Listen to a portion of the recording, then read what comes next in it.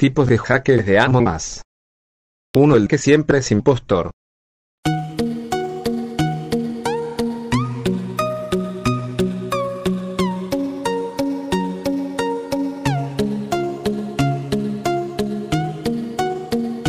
Dos. El que no espera nada para matar.